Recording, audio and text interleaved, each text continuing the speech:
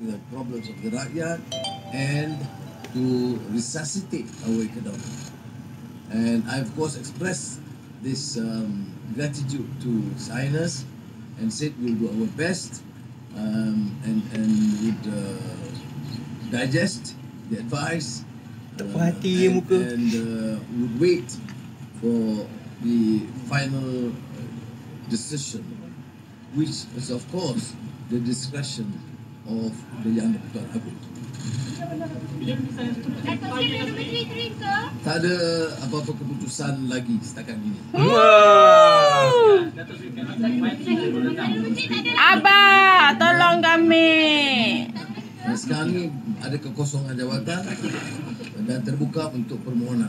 Ha, sila bang. sila memohon bang. And uh, the appointment of President and Prime Minister said no, but it's open for application. Adakah akan ada perbezaan No, no, no, there's no decision. Pening pala lah dia. Tak boleh nak tidur.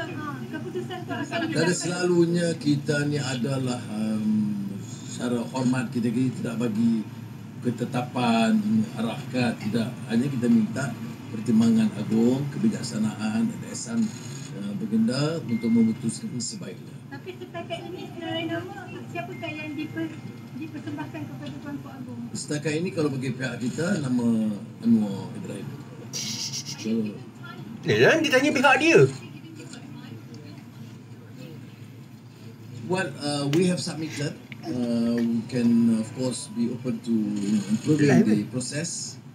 Um, given time I think would secure the simple majority as I have indicated earlier. Baik terima kasih banyak. Ya. Nama yang di, telah dipersembahkan uh, awal tadi pagi. Okey? Pardon? For now, there's no question about forming a minority government. Okay?